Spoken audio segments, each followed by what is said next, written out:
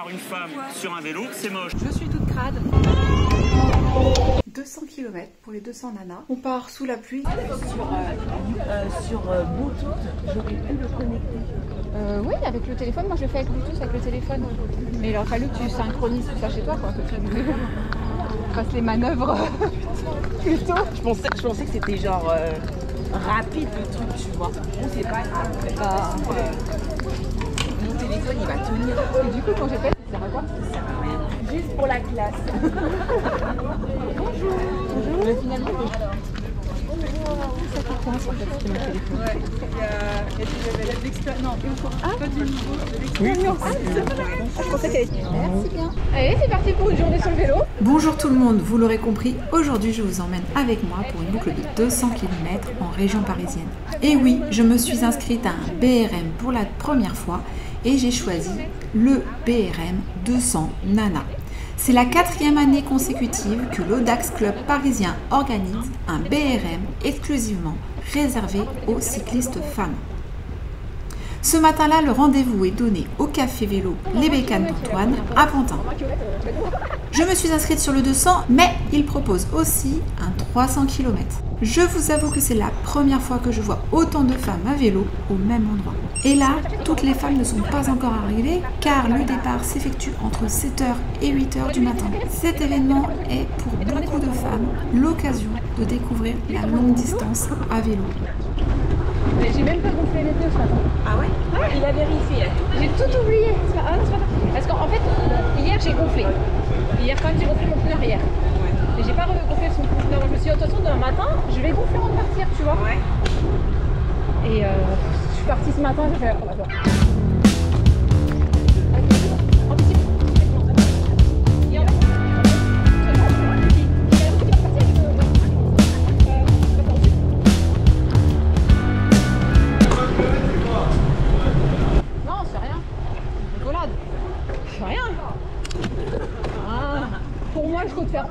vélo, mais c'est rien. C'est quoi Franchement, tout le monde peut faire ça. Une euh, formalité.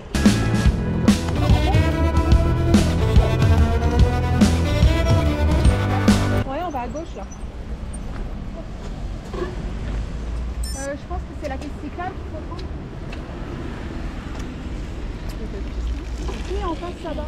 En face, il y en a une là-bas. En fait, il aurait fallu je pense, traverser par là-bas.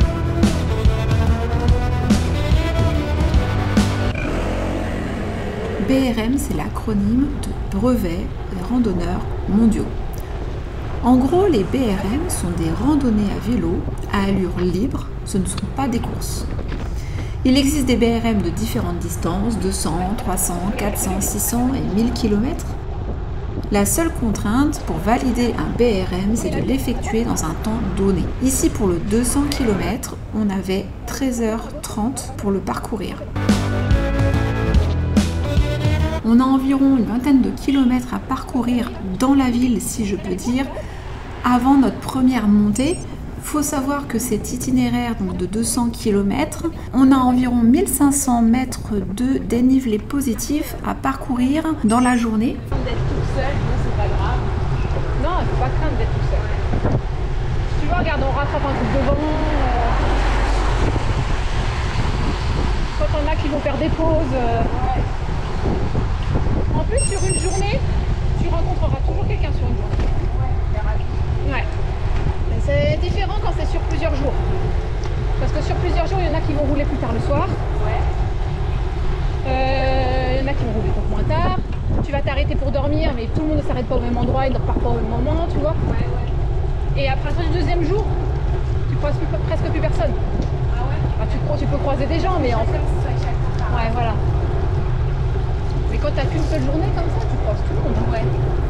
Au fil des discussions que j'ai pu avoir avec d'autres femmes, surtout quand elles découvrent euh, que je pars à vélo parfois seule ou même quand on part à vélo sur de longues périodes avec les enfants, j'ai remarqué qu'une de leurs principales euh, peurs, c'est de se retrouver seule à vélo. Alors que ce soit totalement seule au monde, hein, euh, sans, sans autre personne, ou la seule femme dans un groupe d'hommes. Et malheureusement, cette crainte, elle est profondément ancrée dans notre société, car bien souvent, on m'a simplement posé la question, mais tu n'as pas peur? Cette peur généralisée, si je puis dire, elle va s'ajouter encore plus au, à tout ce qui empêche les femmes de pratiquer des sports euh, considérés comme masculins par nos homologues masculins et dont le cyclisme en fait partie. Je vous ai mis un petit extrait au début de la vidéo, vous avez pu le voir, de Marc Madio. Ce petit extrait faisait partie d'une interview où carrément il disait droit dans les yeux à une cycliste professionnelle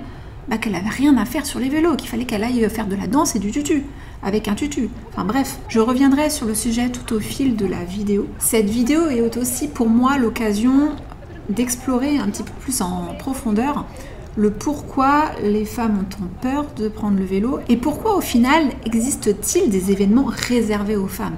On pourrait penser en France, lieu de la mixité, de l'égalité. Encore aujourd'hui, on organise des événements réservés aux femmes, comme on ouvre des salles de sport réservées aux femmes. N'hésitez surtout pas à me donner votre avis en commentaire. Et d'ailleurs, j'en profite pour vous rappeler que vous pouvez très bien me mettre un petit pouce bleu et vous abonner à la chaîne pour suivre nos aventures à vélo.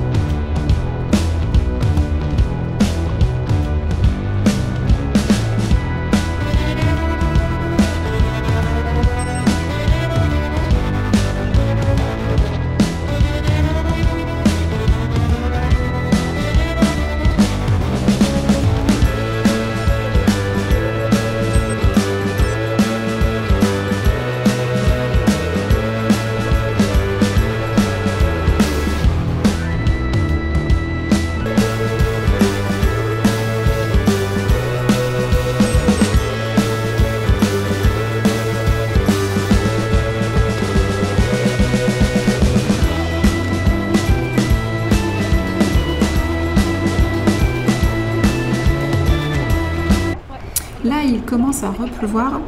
Il faut savoir qu'on a eu de la pluie toute la matinée.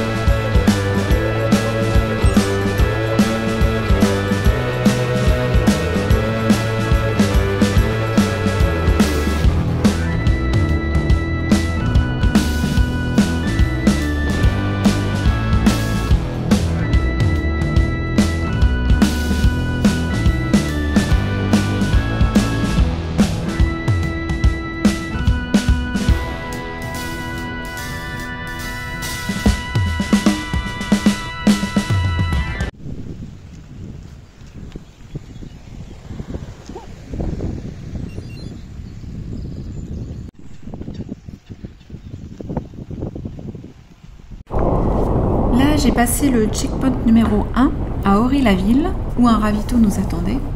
Et je suis en direction de Fleurine pour euh, le checkpoint numéro 2. La pluie m'aura valu une crevaison que je n'ai pas filmée.